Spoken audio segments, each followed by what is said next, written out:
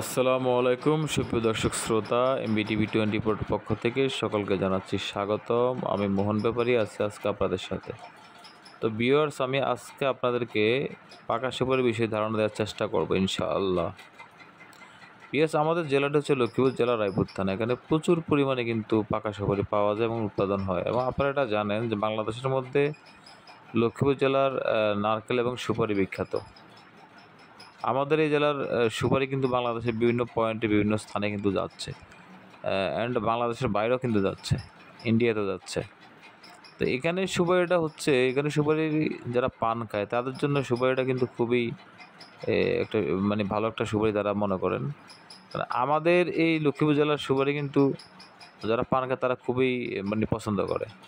তো যাই হোক, আপনারা যারা ব্যবসা করতে চাচ্ছেন যাদের কাছে যারা ভাবতেছেন যে ভাই আমার কাছে তো পুঁজি কম, চালান কম, আমি এখানে ব্যবসা করতে চাচ্ছি তাদেরকে আমি বলব যে আপনার কাছে যদি পাঁচ থেকে দশ হাজার টাকাও থাকে, আপনি কিন্তু এই ব্যবসাটা শুরু করতে পারেন। এই ব্যবসাতে পুঁজি একবারেই কম লাগে, পাঁচ হাজার টাকা হলে কিন্তু ব্যবসাটা আপনি চালু করতে পারতেছেন। আর একটা কথা হচ্ছে যে বিয়ার্স আমাদের থেকে এখন তো সিজন শুরু হয়ে গেছে, তো এখন থেকে আমাদের থেকে, আমাদের কাছে আপনারা পর্যাপ্ত পরিমাণ কিন্তু এই পাকা সুপারিগুলো পাবেন। যাদের প্রয়োজনে আমাদের সাথে যোগাযোগ করবেন। আর আরেকটা বিষয়টা হচ্ছে যে, অনেক বাইরে আছেন কিন্তু যে সাইকেলে করে বা হুন্ডায় করে কিন্তু দোকানে দোকানে সুপারি বিক্রি করেন, তারাও চাইলে কিন্তু আমাদের থেকে পাকা সুপারি নিয়ে, পাইকারি রেটে নিয়ে ব্যবসা করতে পারেন। এবং অনেক বাইরে আছেন যে, বসে বসে এগুলো বিক্রি করেন, তারাও চাইলে কিন্তু আমাদের থেকে সুপারিগুলো নিয়ে ব্যবসা করতে পারেন। এবং অনেক ভাইরা আছেন যে, যারা আড়তে বসে পাইকারি বিক্রি করেন, তারাও চাইলে আমাদের থেকে মালগুলো নিতে পারবেন। বিয়ার্স এক বস্তা, দুই বস্তা, তিন বস্তা, দশ বস্তা সুপারি যদি লাগে, তাহলে সরাসরি আপনারা আমাদেরকে বলে আমরা কুরিয়ার পাঠিয়ে দেব।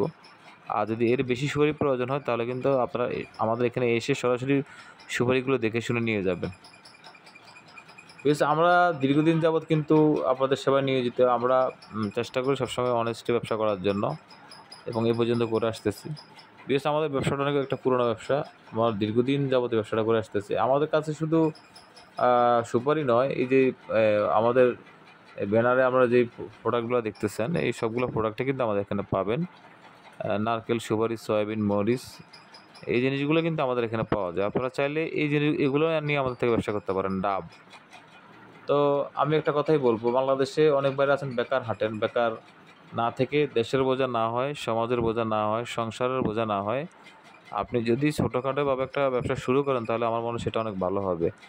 আসলে আমাদের অনেক, অনেকের মধ্যে একটা ভ্রান্ত ধারণা আছে যে আমি পাঁচ হাজার টাকা দিয়ে কীভাবে ব্যবসা শুরু করব, দশ হাজার টাকা দিয়ে কীভাবে ব্যবসা শুরু করব। আরে ভাই, আজকে যারা অনেক বড় বড় ব্যবসায়ী প্রতিষ্ঠানের মালিক হয়েছেন, তারা কিন্তু স্মল ছোট থেকে কিন্তু তারা স্টার্ট করেছেন।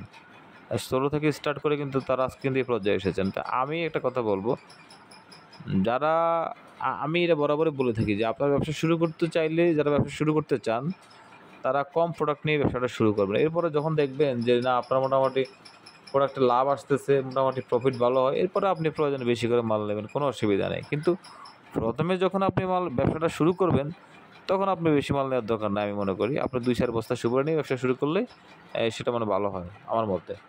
তো ভিউয়ার্স আমি দীর্ঘদিন যাবত ইনশাল্লাহ ব্যবসার সাথে জড়িত। আমি চেষ্টা করি আপনাদেরকে সঠিক প্রোডাক্টটা দেওয়ার জন্য। এবং ইনশাল্লাহ দিব। আমি যতদিন ব্যবসা বাণিজ্য করব, ইনশাল্লাহ সঠিক প্রোডাক্ট আপনাকে আমাকে আপনাদেরকে দেওয়ার ব্যবস্থা করব ইনশাল্লাহ। আপনারা ভালো থাকবেন, আমাদের জন্য দোয়া করবেন। এবং যদি আমাদের চ্যানেল আপনাদের উপকারে আসে, অবশ্যই আমাদের চ্যানেলটি সাবস্ক্রাইব করে লাইক কমেন্টস করবেন। আমাদের জন্য দোয়া করবেন, আমরা আপনাদের জন্য অনেক দোয়া করি। আর আরেকটা কথা না বললেই নয়, যারা আমাকে ভালোবাসেন, তাদের দোয়ায় কিন্তু আজকে আমি পজিশনে এসেছি। আপনারা আমাকে দোয়া করবেন। আমি যেন আপনাদের পাশে থেকে ব্যবসায়িক মাধ্যমে